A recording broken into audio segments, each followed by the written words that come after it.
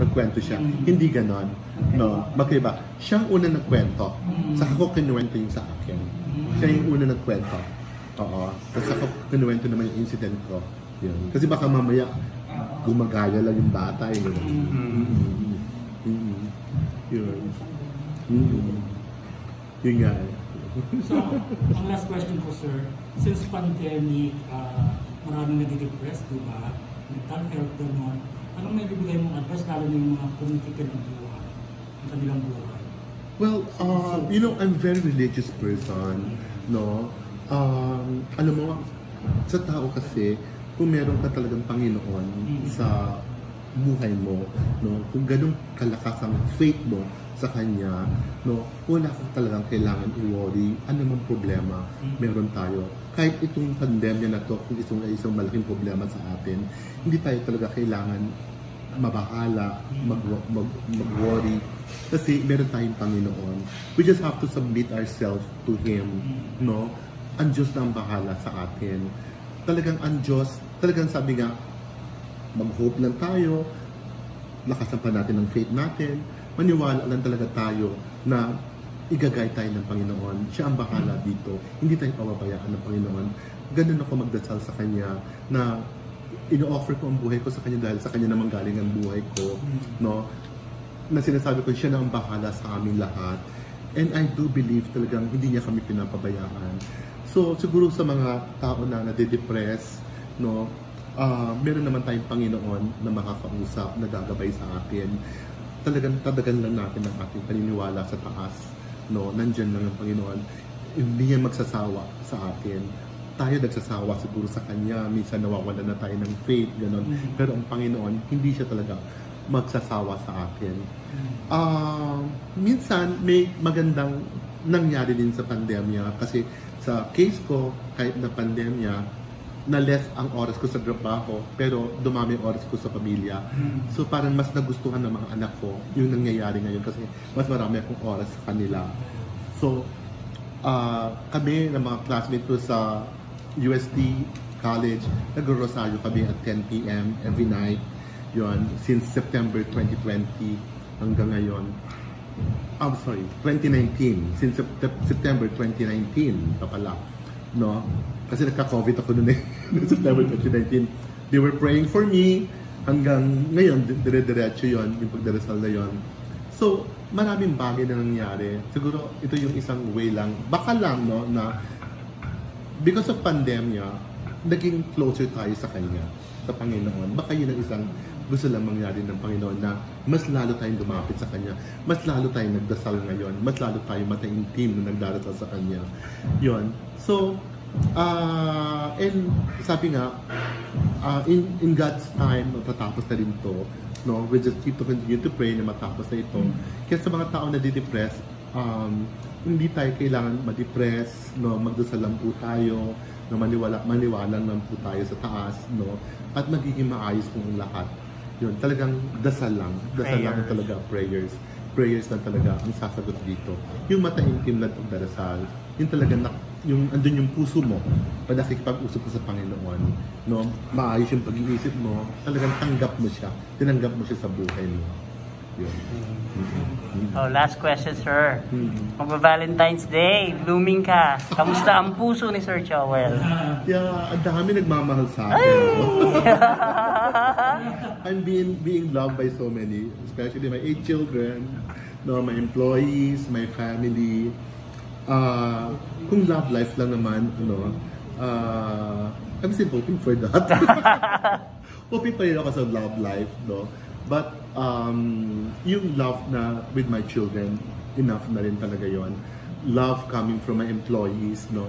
Maraming salamat din sa mga empleyado ko na talaga nandyan sila kahit hindi ako iniiwan sa kahit na may pandemya, yung ganon. Kaibigan, kamag-anak, malaki ang pamilya ko, we're seven na magkakapatid, marami akong pamangkin. Kayo, di ba? Di ba? Sa mga kwentuhan natin kanina, di ba? Nararamdaman natin yung pagmamahal sa isa't isa, which is very, very good, no? Yun ang kailangan i-maintain natin yung pagmamahal na ganyan.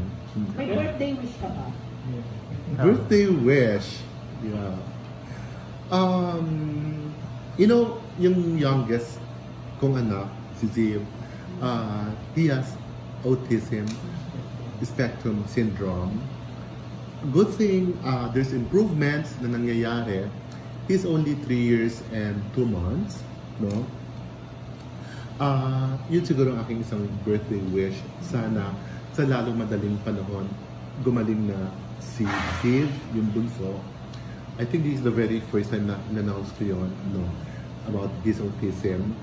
Um, hindi ko pa nasasabi sa iba yata. Alam ko, as far as I know, hindi ko nasasabi sa ibang interview. Ngayon ko lang nasabi ito na meron siyang sakit na yon.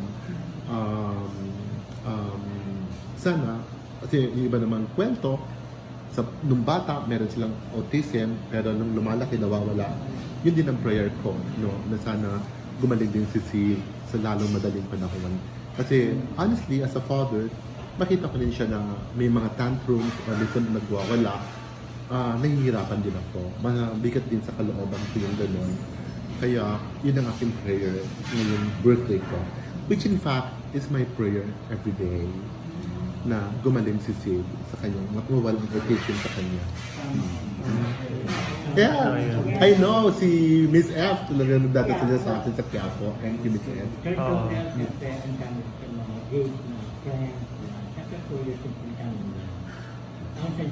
ano daw mga qualities na mga sinasabi siya sa lalaki nasabi mo na Mahilig ako. Oh. Mahilig ako sa gwapo. Okay. Istiso ba? O? Mas mahilig ako sa maputi. Pero may moreno naman na gwapo rin eh. okay. Uh, size, uh, Bongga yan. it matters. It matters. May nagpaparamdam ba, Sir Joel? Marami. Oh, marami. Oo, marami. Eh, ano But, magiging criteria? Oo. Yun kasi problema ko, sa dami ko ng anak, di ba? Parang package. Gusto mo ba ako pero, di ba? Package din ako kasama yung walong anak ko. Yung ganun, parang mahirap, di ba?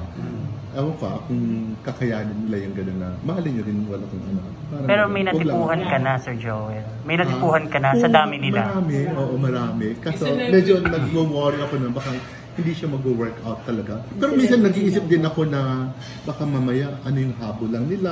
Eh, Nag-iisip din ako ng gano'n na hindi sincere yung love. Meron, meron yung celebrity. Celebrity, Meron. tikim-tikim o relasyon. Yung mga kids, no, ba nagtatanong sila about it, yung wala kaming, di ba, Ah, yung mom, yung part, ah, or partner, they know that I'm gay. Oo, pero partner, they don't ask yet about that. No? Bata pa eh. Kasi 9 years old, 6, 4, 3, ah, hindi pa. Ah, mommy, they ask sometimes, no? pero nasasagot ko naman. So, hindi na issue sa kanila yung mommy eh. Okay, naintindihan, naintindihan nila, masaya si... Sorry. Excuse me. Masaya sila eh, no? Yung gano'n. So, ayun, yun, yun ang talagang worry. Kasi naging package din ako ngayon na, di ba, ang dami kong anak. Ewan ko ba kung, ano, sa ano ba kung totoo talagang pag-ibig ba yun? Ano bang gusto sa akin? Ano?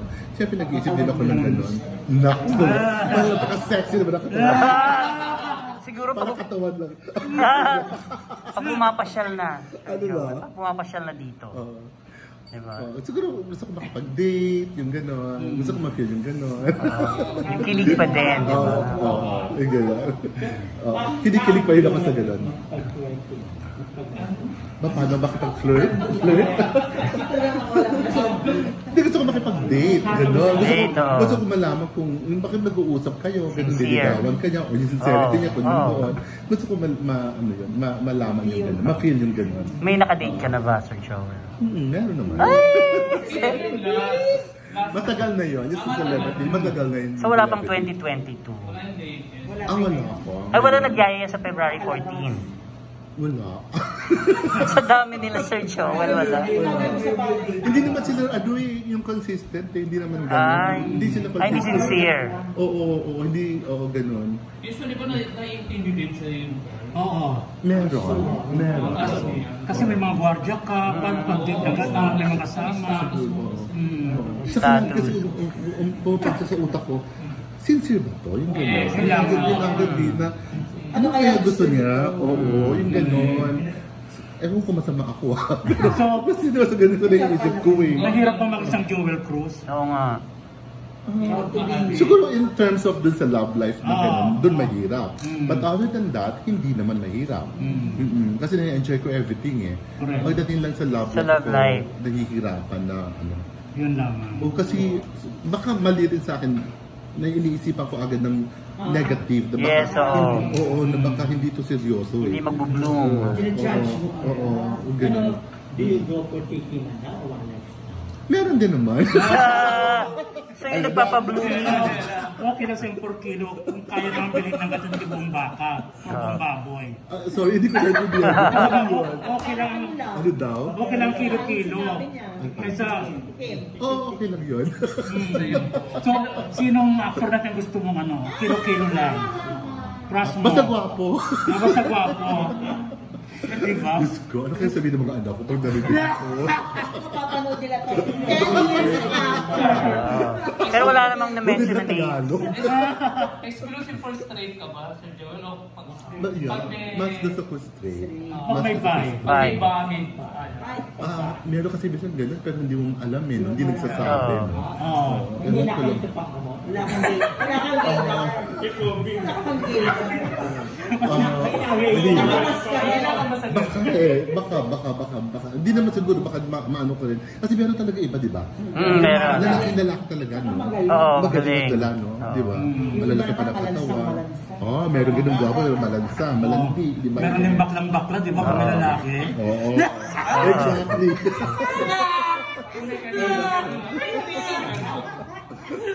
Possessive ba, Joel Cruz? No, no, no. Maalala no. ka ba? Oo. Ah, Lingi ka ba? Ma-PBA ka ba? ah, hindi, hindi naman, hindi. Ah, tawag dito. Selosa. Hindi eh, hindi. Wow, Hindi. sir. Yeah, hindi ako ganun eh. Sobrang sweet. Open, yeah. Mhm. Mhm. Yeah. Ako. Serious, siguro mga tatlo. Mm. Matatagal Yung yun. hindi, Sir Sir Joel. Hindi, ah, marami, more than 10.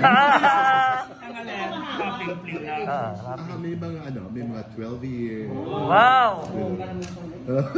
Nakasubo pala gano. Pero, yung bang ganun, ano, kahit wala nang relasyon, ano pa rin Friends kayo? Friends pa rin. Ah, yun ang maganda. Yeah. Mm. ah. Walang kaaway. Ito ko ako, I embrace it.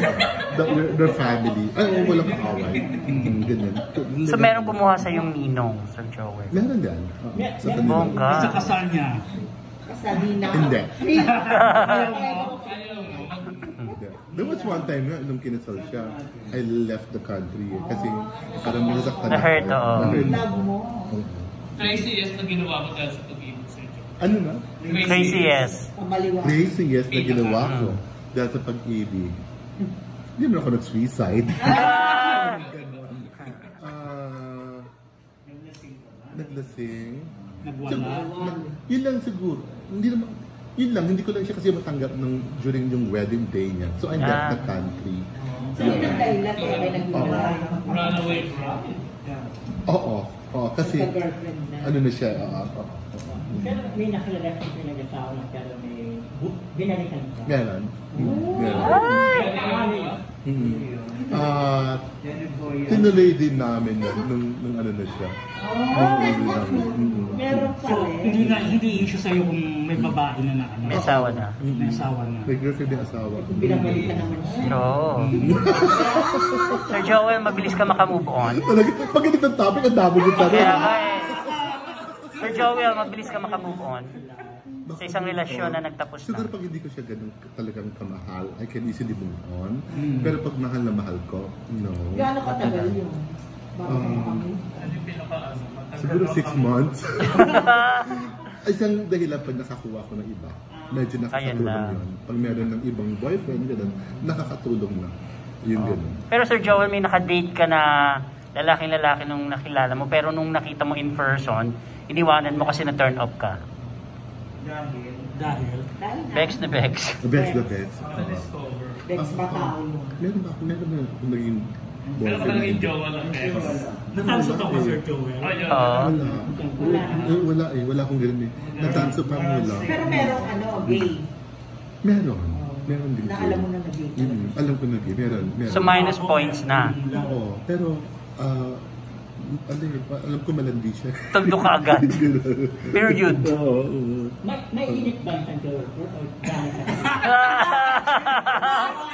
Mainit. Kaya nga, naglalagab lang. Tahimik na siya, pero mga tanong niya. No, Naglalag, ayan, pastak na.